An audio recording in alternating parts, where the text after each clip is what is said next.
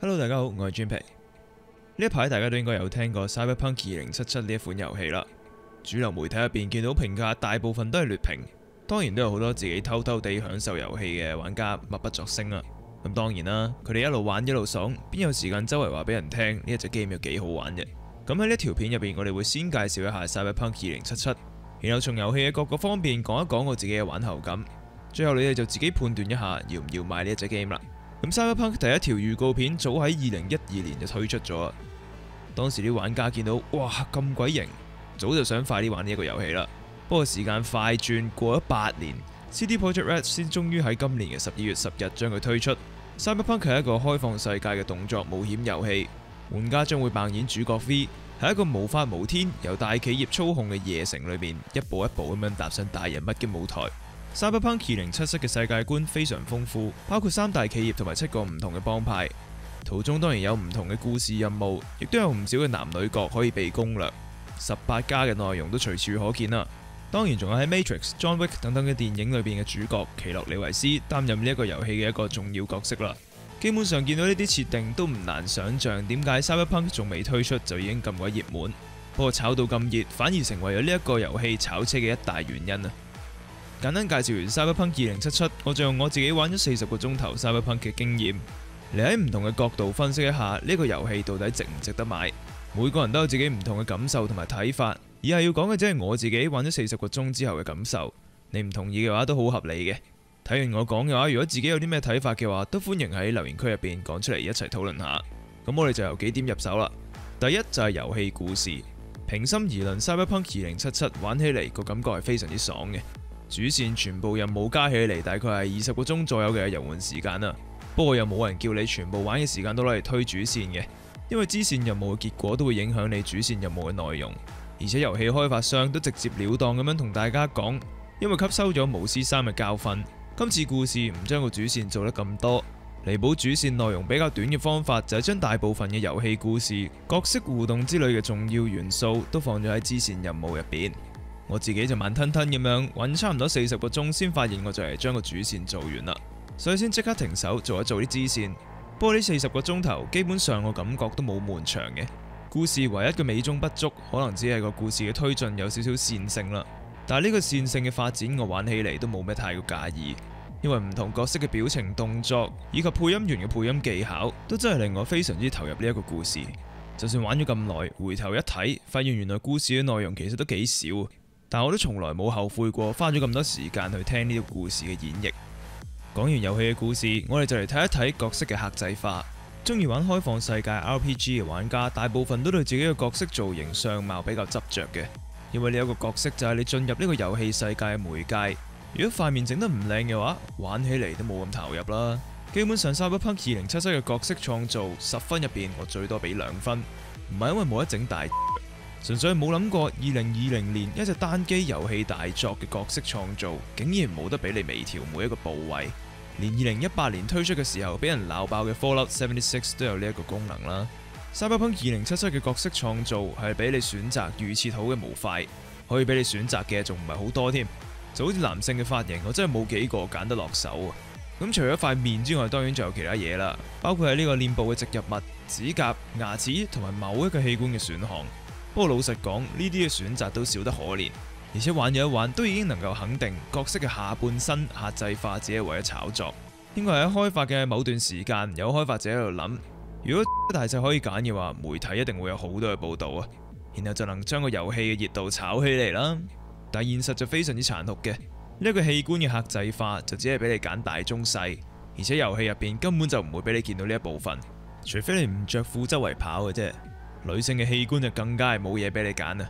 相信大部分嘅玩家喺呢一邊都比較失望嘅。下一部分就係 Cyberpunk 2077嘅戰鬥系統，我自己就玩非常困難，如果真係最高嗰個難度，感覺上嘅戰鬥就非常之好玩嘅，而且都真係幾有挑戰性。唯一美中不足嘅可能就係個難易度唔會影響敵人 AI 嘅程度啦。Cyberpunk 2077嘅戰鬥系統都算係好多樣化嘅，戰鬥嘅玩法取決於你揀嘅武器同埋加點。如果唔係無腦派，見到敵人就衝嗰一種，玩起嚟應該會有少少似 Watchdog 加 Fallout，用科技改變一下呢個戰鬥嘅環境。唔想用腦嘅就直接同敵人搏火，咁啲武器嘅聲效同埋打擊感，我覺得都做得唔錯嘅。特別係啲爆炸、爆血呢一啲效果，的確係好逼真。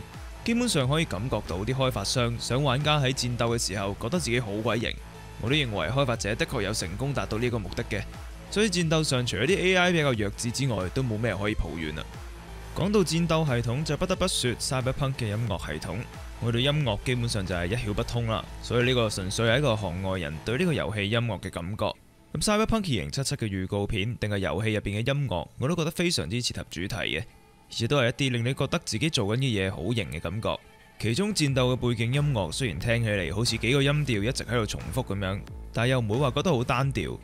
反而令到個戰鬥變得好緊湊。